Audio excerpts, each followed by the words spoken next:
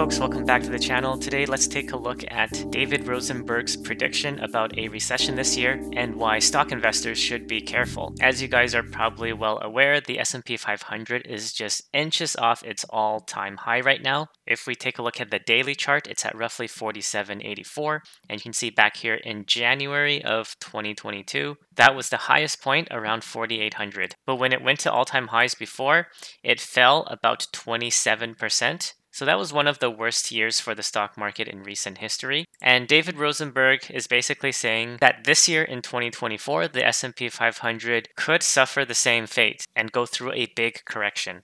So, why pay attention to David Rosenberg? Because he did call the 2008 recession, and not many people did.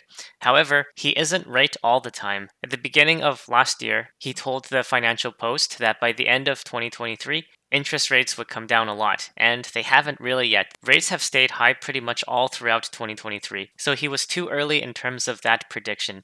If he's wrong about the stock market this time, and instead of going down, the stock market continues to go up and make new all time highs, then investors could lose out on a lot of capital appreciation. So let's take a look at the fundamentals and technicals and try to gauge if Rosenberg is correct or not. Let's take a listen to what he has to say on the topic recessions do happen, and it's best to be braced for them. And I just fear that this level of complacency is going to cause a lot of investors to not be prepared for what I consider to be an inevitable part of the economic cycle. Uh, we had soft landings in 1969, 1979, 1989, 2000, 2007, and these were all soft landing years. And the following year, we had an NBER-defined recession.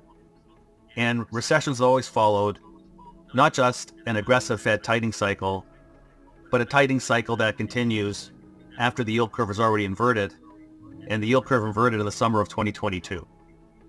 What happened in 2023 that gave this false glow of how the economy was really doing was that we had fiscal stimulus equivalent to roughly 2% of GDP. Put to you this way, Two-thirds of the growth in 2023 came from fiscal stimulus that morphs into about one and a half percentage points of fiscal withdrawal in 2024. So I think that uh, we're going to have a recession in 2024. I know it sounds like it's a stale argument, uh, but to tell people that there's no recession because it hasn't happened yet, which I heard plenty of in 2007 when I was working for Mother Merrill, is like telling somebody in Toronto, Canada that because it didn't snow in December, winter's been called off. So I see a recession starting in the opening months of 2024. I think this is going to cause a reversal in the Santa rally in the stock market. Uh, as aggressive as the Fed is now in its dot plots in terms of calling for lower interest rates, I actually don't think that there's enough priced in. Uh, and therefore, my big call, I think we're going to be seeing nominal GDP growth no better than 3% and probably close to 2%. It won't be the first time that's happened, but this is going to anchor the long end of the treasury market, which I think is going to be delivering equity-like returns without equity risk for 2024. That is my highest conviction. So, according to David Rosenberg, the stock market today has worse fundamentals than back in December of 2021, which was just before the all time high. And he is suggesting that investors have proper hedges in place. So, that could be, for example, having some bonds in your portfolio. Because when the economy deteriorates, central banks tend to lower interest rates, which props up the value of existing bonds.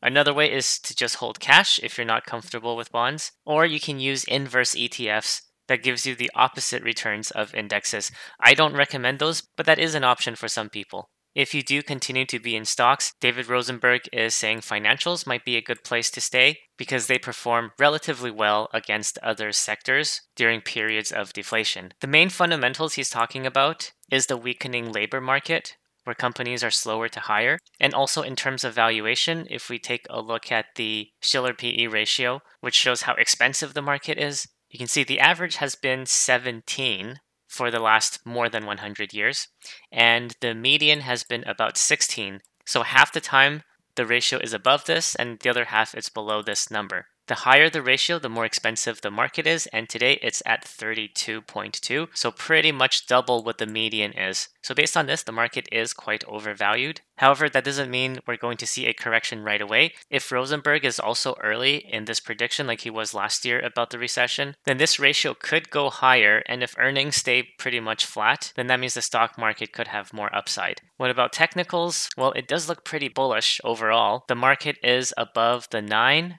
the 21 and the 50 exponential moving average on a daily chart. The MACD is looking pretty bullish as well as the RSI, which is above the 50 line. However, one thing to point out is we do see some negative divergences happening. So when we look at the stock market, you can see it made a high here and a higher high over here and then an even higher high over here. So it looks like it wants to make higher highs as time goes on.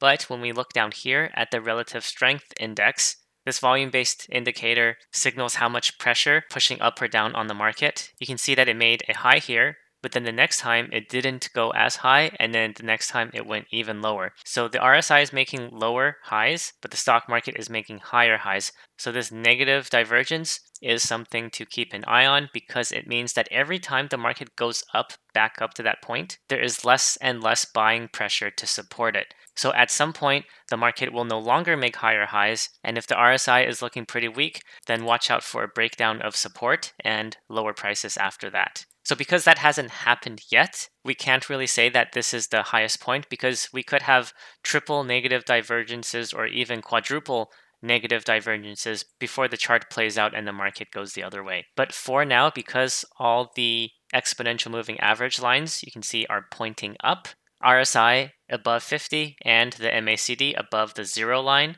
The MACD line is converging with the signal line. So all of these signs are pretty bullish and the negative divergence has to play out before I become bearish on this market. We can also take a look at the fear and greed index. Usually when it's at greed or extreme greed, it won't be long before the market dips down. Just like when the stock market reaches a peak, it won't be long before it makes a correction. So if we take a look at the relationship between the fear and greed index, which is in light blue here, and the stock market S&P 500 in red, they have a positive correlation for the most part, but in the recent couple of weeks, the fear and greed index has been making lower highs the blue line, but the S&P 500, the red line, is diverging away from it, and it looks like it wants to make higher highs. So usually when there is a discrepancy like this, the stock market will have to eventually follow the fear and greed index and go lower. But again, looking at the S&P 500 chart, it really has to get below first the green line and ideally the blue line, the 21 EMA, before a longer term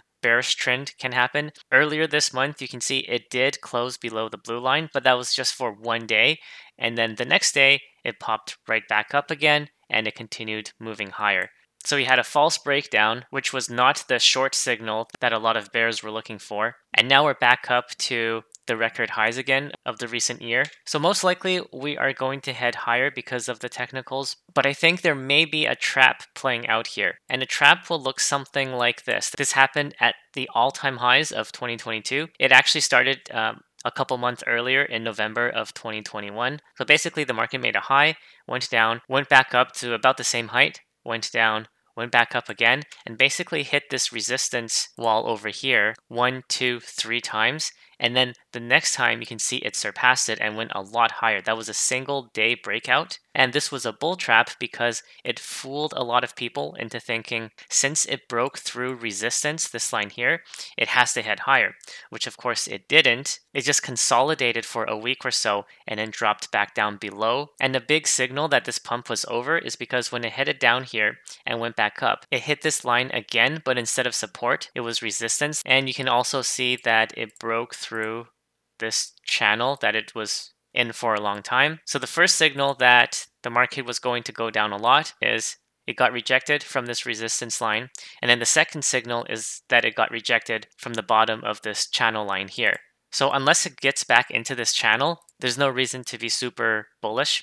And the market went down and of course it bottomed in October of 2022. So fast forward to today, could we have something similar to that where the market goes down maybe over the next week, comes back up and makes a newer high and maybe make an all-time high, trap in some bulls and then continues down like this?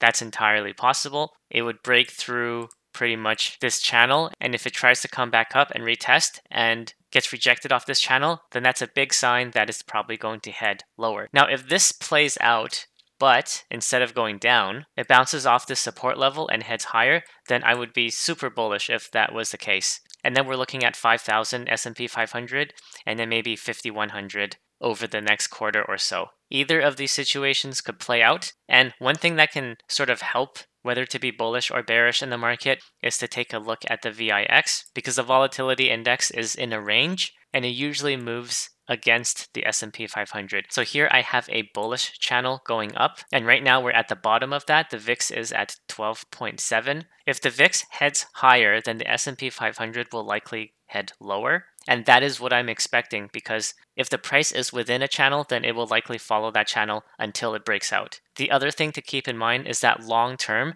the VIX doesn't stay this low for long. If I take a look at the monthly chart and I go back all the way to 1990, you can see the purple line down here is 12 and 12.7 is right here where the red line is. So we're pretty much at the bottom of the VIX. And because the VIX is a range, the lowest it can go to is zero, which is pretty much impossible to hit. But I would say 12 is pretty low as far as where the VIX can drop to. So over the next couple of weeks, I will be looking at the VIX and seeing how it behaves. Because if the VIX drops out of this range and goes lower, and especially if it falls below 12, this purple line, then the next support I have is down here at this yellow line, which is 11. And that's because 11 was a price point where it found support a handful of times before. So if it breaks through this channel, 12 is going to be the target. If it breaks through 12, then 11 is going to be the next target. And if that's the case, then the stock market is most definitely going to head higher to 5,000. So I would be very bullish if that was the case. But otherwise, I am cautious because, as David Rosenberg said, we are at a very similar situation to the beginning of 2022, and it might not be a bad idea to take some money off the table, especially when 2023 was a really good year for the market and a lot of people probably made gains. Anyway, I will have another SPY update coming up soon. I'll have a new challenge for this year, so stay tuned for that. Thanks a lot for watching. Good luck with your investments, and I'll talk to you in the next one.